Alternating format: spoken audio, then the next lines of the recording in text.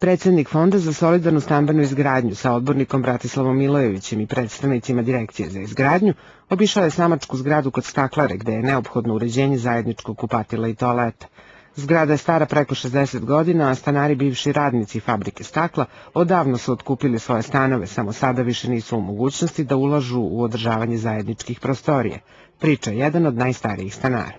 Ta zgrada je bila vlasništvo fabrike stakla, mi smo radili u fabrici stakla i onda vremenski je to sada staklara više nema ništa s tim i mi nemamo gde. E, plate ljudi koji rade tu, mahom su radili u staklari, dobili su otkaz, socijalni e, viško u fabrici stakla i sad to je tu kako je.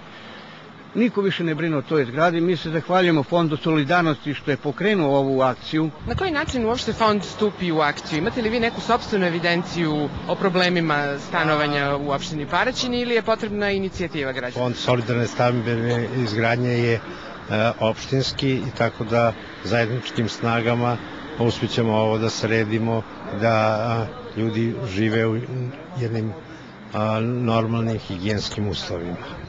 Ima li još ovakvih slučajeva u gradu? Pa u gradu ima dosta takvih slučajeva, nego opštinski fond e, solidarne stambene izgradnje je ograničen sredstvima, tako da ne možemo svima da izađemo u susret. Samo najkritičniji e, dobit će e, sanaciju nekih e, vodovodnih, kanalizacionih i mnogo e, higijenskih uslova za život. Obilazak je nastavljen posetom porodici tragično nastradale braće Ivanišević u Sikirici, u čijoj će kući sredstvima Fonda solidarne stambene izgradnje biti opremljeno kupatilo.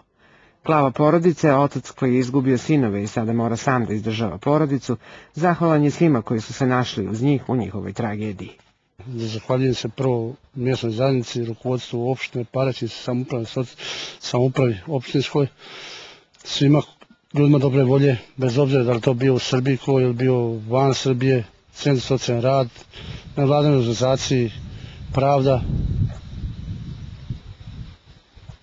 Inače, u rukovodstvu cele opštine, svima, ne, bez obzira ko bio, nebitno ko je pomoć dao dinar ili pet ili deset, znači nebitno većine, svaki je dao po mogućnostima svojima, prema svojim sposobnostima, jer meni je svaki dinar dobro došao.